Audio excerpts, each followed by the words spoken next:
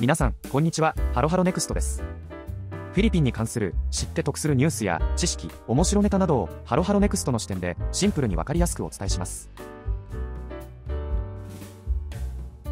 ィリピン運輸省は保健省の通達に基づき入国者に対するワクチン接種証明書の提出が完全に不要となったことを発表しました。保健省によればワクチン接種状況にかかわらずフィリピンに渡航する全ての旅行者が受け入れられるとのことです。ついに正式にワクチン接種を気にすることなく、どんな方もフィリピンに渡航できますね。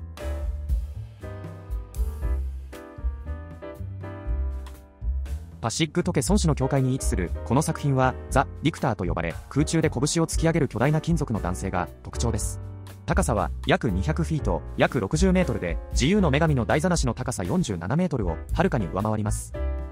この像の制作者、ジェフリー・マニュエル・フィゲラスは、この像は本当にグローバルなフィリピン人であり、世界中で成果を上げている一生懸命なフィリピン人の象徴であり、まさにフィリピンの誇りだと説明しています。夜にはイルミネーションで飾られ、すでに観光スポットの一つとして認知されているそうです。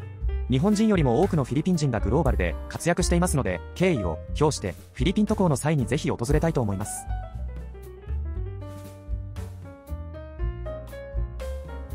多くの地方自治体が観光省によるラブ・ザ・フィリピンキャンペーンを受け入れています。約900の地方自治体がこのスローガンを観光プログラムに取り入れ観光省は楽観的な見通しを示しています。プロモーションビデオに他国の映像を使ってしまうなど論争となりましたがフィリピンはすでに今年前半に300万人以上の海外からの渡航者を迎えており観光収入は2125億ペソとなっています。訪問者の主な国は韓国アメリカオーストラリア日本カナダです。もう後には戻れないという感じでしょうか。どんなスローガンだったとしても、そんなことは気にせず、フィリピンには訪れるだけのたくさんの魅力がある。私はそう思います。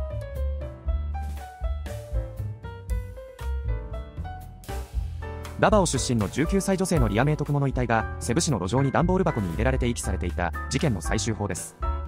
なんと真犯人は徳のスマホを売った22歳の建設作業員シメオン・カブテロでした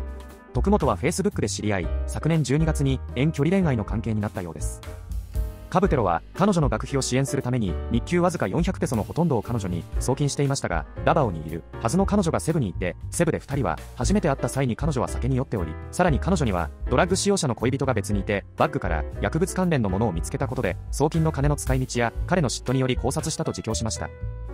もし彼の供述が100%事実だとしたらなんだかとてもモヤモヤしてしまう結末です。彼女はダバオの学生ではなくセブではレストランで働いたり SNS で複数の男性とやり取りしていたことが分かっているそうです。彼女は私がイメージしていた清廉潔白の若いフィリピーナではなかったようですがそれでも無残な姿で亡くなってしまったことに哀悼の意を表します。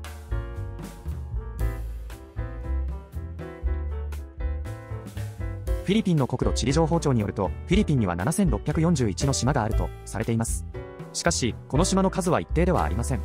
島の数は潮の満ち引きによって変動するため高潮時に一部の島が水没することもあるからです。ちなみに人が住んでいる島は全体の3割程度で残りは無人島と言われています。一方日本の島の数はいくつでしょうか？国土地理院が今年2月に発表した最新の調査によると日本には1万4125の島があることが分かりましたなんとフィリピンよりも圧倒的に多い島の数なんです日本の方がフィリピンよりも島の数が多いというのは意外に感じた方も多いのではないでしょうかフィリピン人との雑談ネタとして話してみると面白いかもしれませんね。